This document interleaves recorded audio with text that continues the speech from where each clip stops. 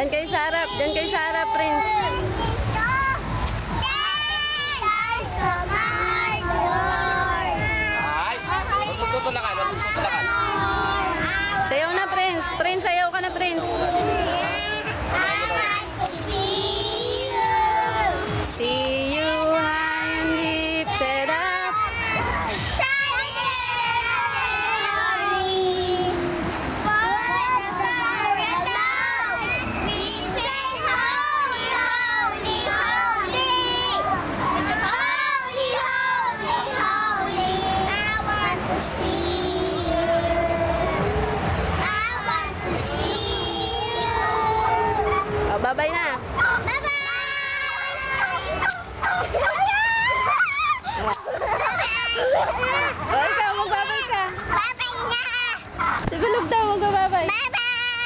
Ikaw. Bye-bye!